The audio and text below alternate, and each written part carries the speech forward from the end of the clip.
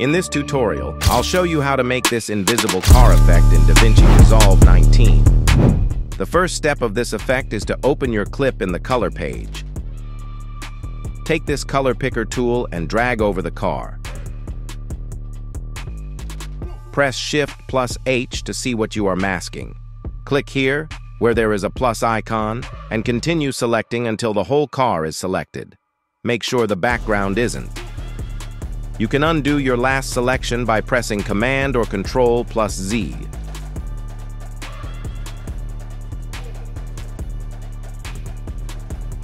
Play around with the matte finesse to get a good mask.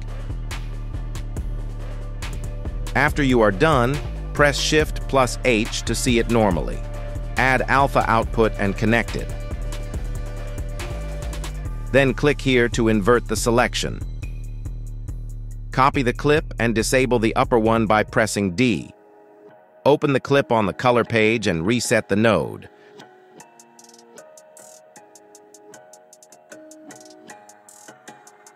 Right-click on the preview and grab a still. Go to Gallery and export the still.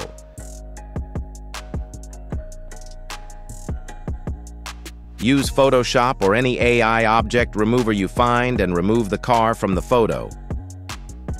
Once you have removed the car, bring it back to DaVinci. Place it under all of the layers and trim it to the right size.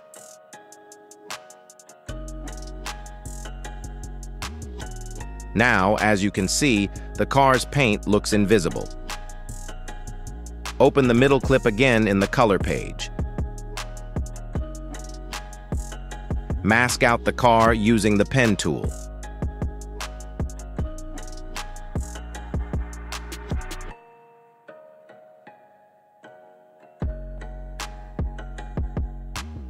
Track the mask.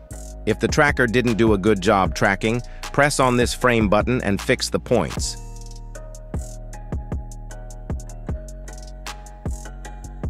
Click on the node section and add alpha output. Go back to the editing page. Compound clip the middle clip.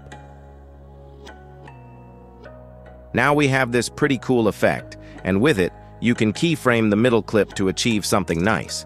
But to make the paint fade in, you need to open the middle clip in the color page. Take this oval masking tool and position it like I do.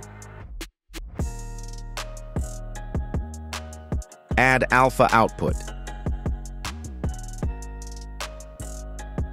Go to the tracking window and click the frame button. Make sure there is a keyframe where you want the effect to start. Go towards the end and position the mask over the car.